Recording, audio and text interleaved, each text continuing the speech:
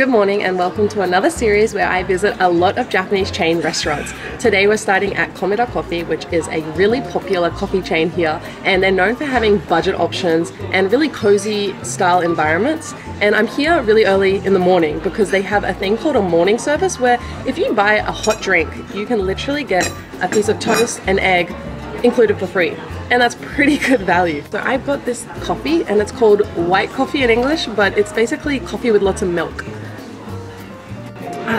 And they make it really hot here, how I like it. I've just got like a piece of Japanese white bread, which if you aren't familiar with, it's called shokupan and it's really fluffy and really thick. Like look at this. It's so thick. And you can choose a topping, so you can either choose butter or you can get something more Japanese and sweet, which is sweet red bean.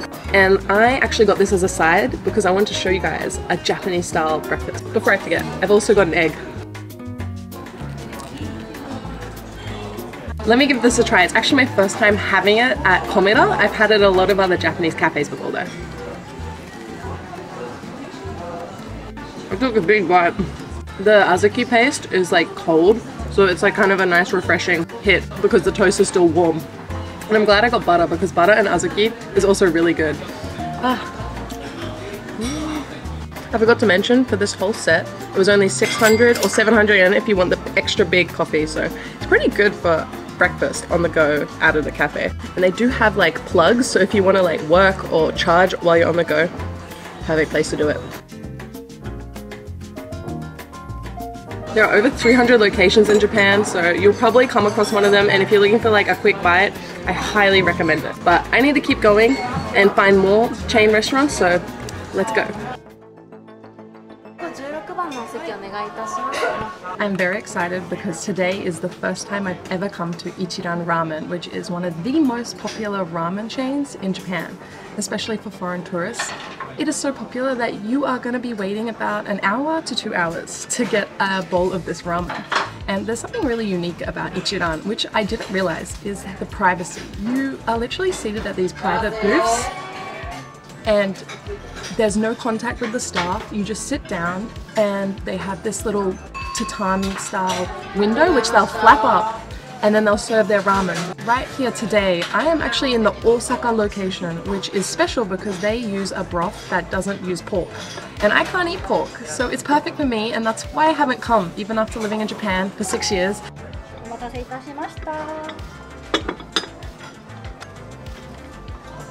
It looks amazing. The presentation is beautiful. It's in this black box, which is not typical of ramen because ramen usually comes inside of a bowl without a lid. And I'm just I'm just so excited and so impressed by the privacy. It's it's like being in another world and I feel like I'm a tourist in Japan again. Um, I don't know where my oh here the chopsticks up the top. Itadakimasu. It is piping hot. I can see the steam coming off of this. Oh yeah, this is tasty. It's got a hit of spice. They have their own specialty spice, um, which they do sell. You can hear them saying irashaimase, which is basically welcome.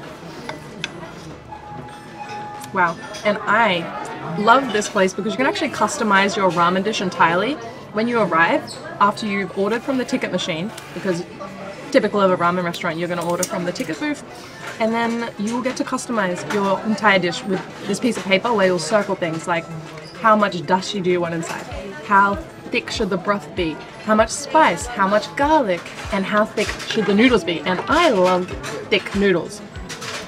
Not fan of thin ones, and they really do thick ones here. It's awesome. Since it was my first time, I wanted to go with the most basic ramen on the menu, so I went for the classic one. It was about 1,100 yen, but I went for a side of egg. And it was really interesting because when it came out, I got a little, you know, piece of plastic paper which said the egg is hard to peel and it's rarely the case that there's an issue with the quality, but if you don't like it, you can get another egg. So they're really, really making sure the customer has a good experience and there's honestly all these small details. I'm sitting here and I'm just observing it while I was waiting for my ramen to come out. They have these little wooden boards that are on the side of your table it's actually crazy because here it says you can make a request at Ichiran without speaking. So you literally just call them here with a button that's right in front of me. It says call us. And then you pass them this wooden block and then you can get your request. I wanted to give the beef a try because apparently this is what most of the ones come here with and it's recommended so that's really tender, really soft. It kind of resembles um, gyudon, that thin sliced beef. It's really sweet as well.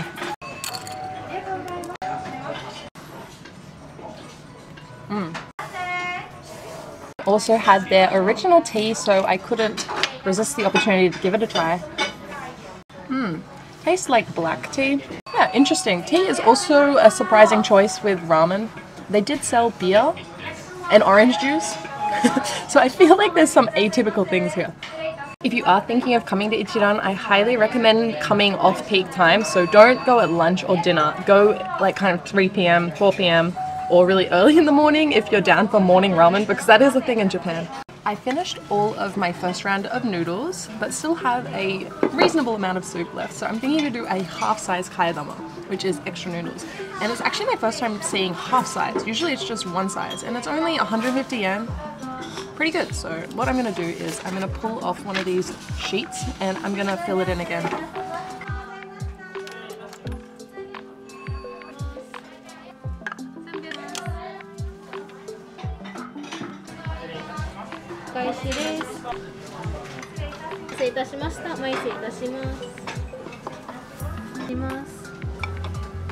two extra things. I have some half-sized kaedama and some nori.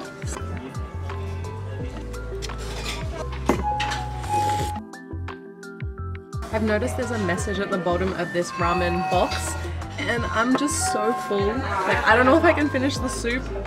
I can just I can just make it out.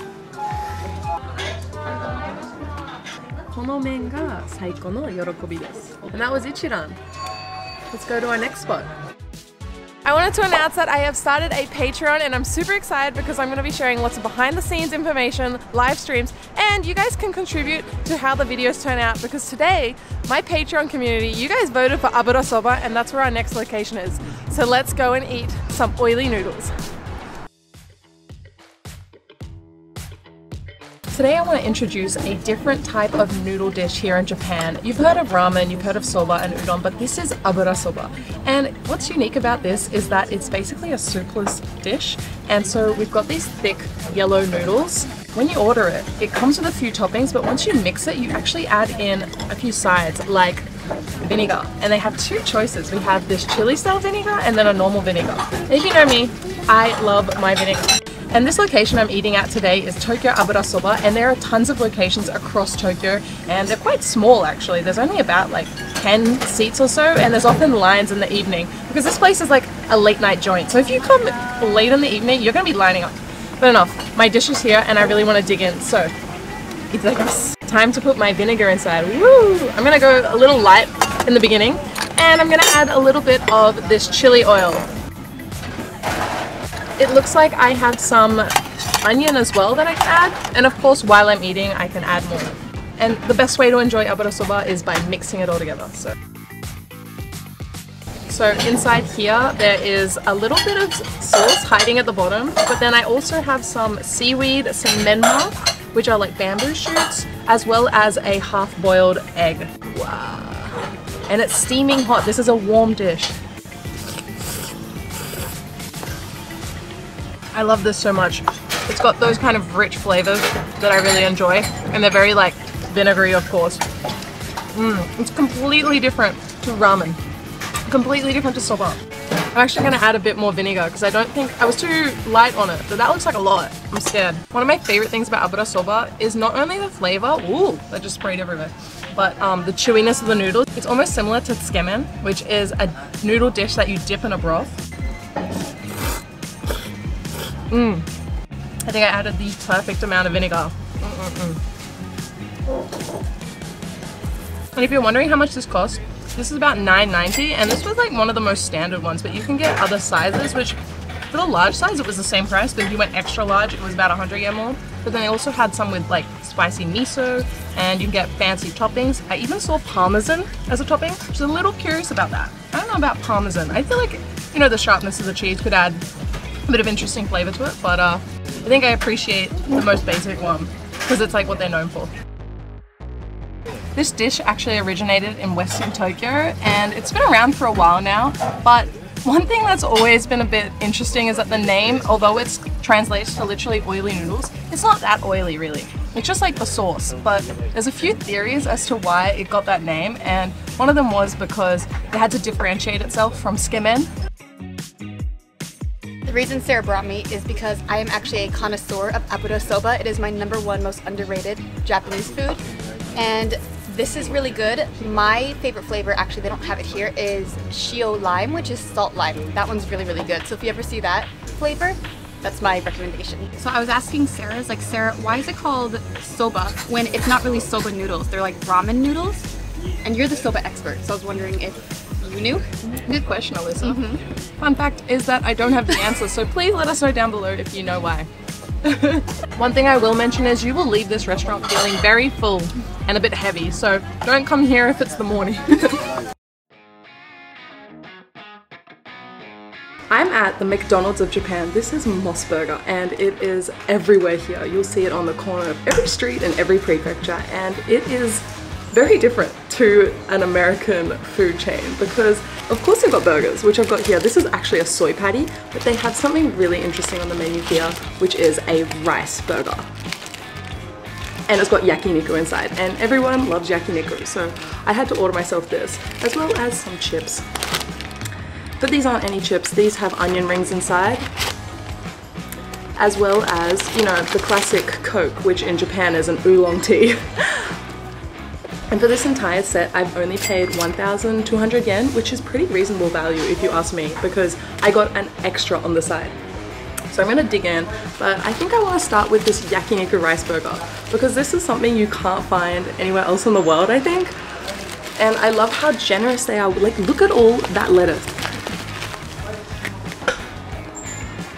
Mm. Lettuce tastes good. Itadakimasu. Mmm. This is really good. They have nailed it. Like yakiniku with rice is already such a good combination, but then you put it in a burger with some lettuce, you cannot go wrong with this. Oh my god. I've actually had this before because of MOS Burgers in Australia, and I've been to their Queensland shop a few times and I dragged like my family there. Who would have thought? Rice in the burger form? Mmm. And If you're wondering like how they stick the rice together, it's basically like rice that is put in like this circular patty shape and then they put soy sauce on it because it's like a little bit brown on the outside like this and then they're frying it like on the hot plates I'd assume. And the flavoring of that is just so saucy and so good. I think it's almost like on par with a regular burger. Like regular burgers are good but this is also like pretty decent. And also on the side this costs like 490 yen. So if you just want this it's pretty good. I got so distracted I forgot to eat my beautiful onion ring. Like look at this it looks a little small. Like, I don't eat a lot of onion rings, but um, onion just fell out of this. I know, that feels really salty and greasy to me, so not exactly my favorite. But I don't consume a lot of onion rings, so maybe I'm just not informed enough. But I'm gonna try the chips. This is very different to like the McDonald's chips, which are like the small, like crispy fries. This is like a lot more like potato inside, which I do like. I approve of these fries. Look, I'm becoming more American every time. Like, I'm saying fries now. These are chippies to me. Where's the chicken salt? Where are my Aussies out there? Give me some chicken salt. In Japan, sometimes you can get like shoyu butter flavoring, but not today. These are just normal salted. This oolong is just so good. Like, I feel like it's just a good palate cleanser because it's kind of like, I don't know, a bitter flavor and it's healthier than Coke. So I really, I wish like overseas they had that too. But I'm going on to the burger. On the menu here, they also have meat options, but I wanted to show you guys that there's also soy ones available. And this is so cheap. This is only 280 yen. I think that's really cheap. Oh, actually, if you get cheese, which I did, it's 300 yen. But inside we have some tomato sauce, some onion, as well as cheese and the soy patty.